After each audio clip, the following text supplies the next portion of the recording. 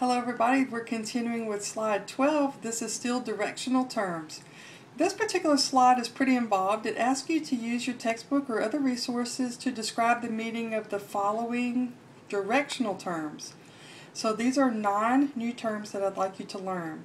Here you'll see the definition of each of them, and I kind of want to do um, a quick examples, sorry on that, for each one of them using this diagram right here of the human body.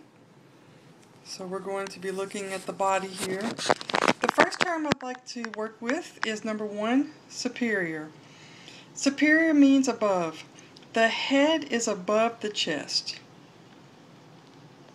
The head is superior to the chest. Here's another example. The hips are above the femoral area. The coxal is above the femoral area. It's superior to the femoral area. Number two, inferior means below. The entire body is inferior to the head. It's below the head, for example. Number three, medial. It means the middle of the body, literally. The medial plane. So anything that's in the middle or toward the middle of the body for example, the nose, the chin, the umbilicus, those are all in the medial or toward the median plane. Number four, lateral means toward the sides of the body. So pushing away from the median toward the side and toward the side. So anything here on the side of the body. The ears would be lateral to the nose.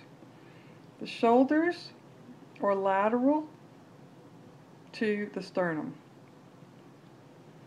Number five, intermediate means between two areas.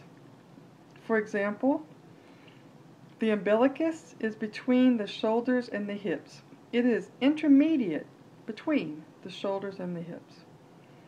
Number six and seven, proximal and distal are reserved for limbs like arms and legs only. Number six, proximal, it means closest to the attachment point of the limb. The shoulder is up from, it is proximal to the elbow. The hip is up from, it is proximal to the knee. Number seven, distal means further away. The foot is distal from the knee. It's further away.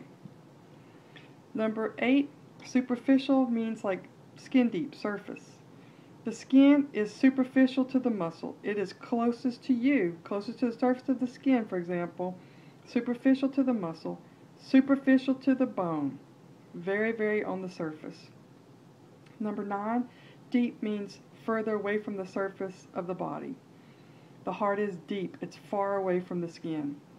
The intestines are deep, they're far away from the surface of the skin. That concludes slide 12. Please join me for the conclusion of the chapter on the next link.